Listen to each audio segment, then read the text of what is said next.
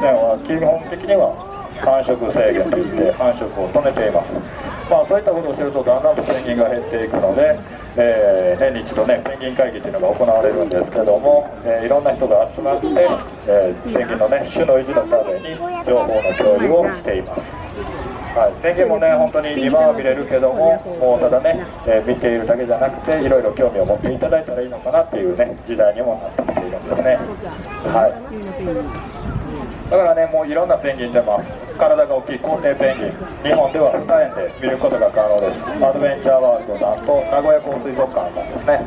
で逆に体がちっちゃいペンギンがいてます。リトルペンギンとかね小型ペンギンって言うんですけどもそのペンギンは葛西臨海水族園東京ですねあとは長崎にある長崎ペンギン水族館さんにね行っていただくといろんなペンギン見れるので、えー、ちょっとね興味持っていただいてちょっと足を運んでいただいてねいろいろ観察していただいたらいいのかなと思いますはい、それではね、あのこれでペンギンのご飯タイムはね、終わっていきたいと思います。本日はね、また引き続き、天王寺動物園の動物をね、いろいろ観察していってください。本日はどうもありがとうございました。ありがとうございます。